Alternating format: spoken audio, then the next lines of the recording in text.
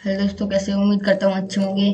आज की इस वीडियो में मैं आपको बताने वाला हूँ कि आप कैसे अपने चैनल के सब्सक्राइबर्स को चेक कर सकते हो कि कितने सब्सक्राइबर किसने किया है। तो दोस्तों, वीडियो को जल्दी से एक लाइक कर दो चैनल को सब्सक्राइब करके बेल आइकन और पकड़ इससे मेरे आने वाली नोटिफिकेशन आपसे बस आते रहे। और वैसे ही मैं वीडियो बनाता रहता हूँ। तो दोस्तों, चलिए दोस्तों, वीडियो स्टार्ट करते हैं। सबसे पहले आपको अपने गूगल क्रोम को ओपन करना है। ओपन करने के बाद आपको अपने चैनल पर क्लिक करना है।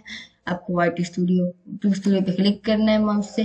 अगर आप फ़ोन में करना चाहते हो तो आपको पहले डेस्कटॉप साइट गूगल क्रोम को ओपन करने के बाद डेस्कटॉप साइट यहाँ पे आपको तीन डॉट पे क्लिक करना है गूगल क्रोम को खोलने के बाद, और यहाँ पे आपको डेस्कटॉप साइट का ऑप्शन होगा आपको उस पर क्लिक कर देना, फिर डेस्कटॉप साइट हो जाएगा, फिर आपको अपने चैनल को ओपन कर लेना है। फिर उसके लिए आपको यहाँ पे यूट्यूब डॉट कॉम लिख देना है।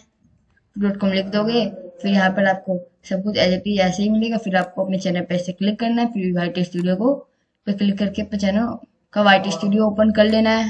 दोस्तों, हम अब देख सकते हैं हमने खोल लिया है। अब आपको यहाँ पर नीचे की तरफ़ रेसेंट सब्सक्राइबर्स पे क्लिक कर देना है। सी और आ गया।